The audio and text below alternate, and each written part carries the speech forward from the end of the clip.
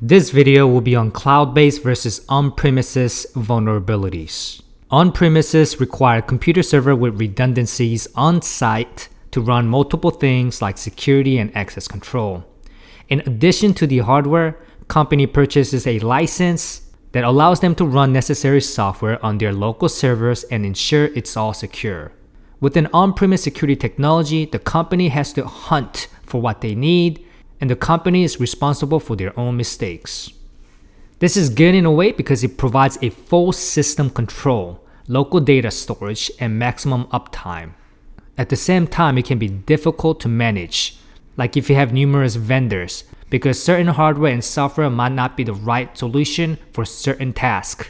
If you have numerous vendors, it means you have multiple hardware and software solutions from multiple third parties. It's hard to manage it, especially with continuous patches and updates. Also, third party companies tend to discontinue certain products and you will need to replace them with another solutions which you need to hunt for. Not only that, you have configurations and permissions that has to be set all separately. This leads to lack of scalability and flexibility. But most of all, it creates a lot of vulnerabilities.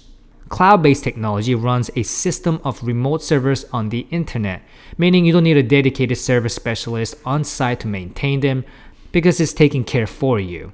Their services provide multiple things from 24-hour troubleshooting, monitoring, and supervision of these servers, security of the data, encryption updates, backup recovery, performance checks, and much more. Cloud is great due to remote management, increased efficiency, enterprise scalability, and it is future proof, meaning the architecture is designed to ensure it doesn't need a complete redesign.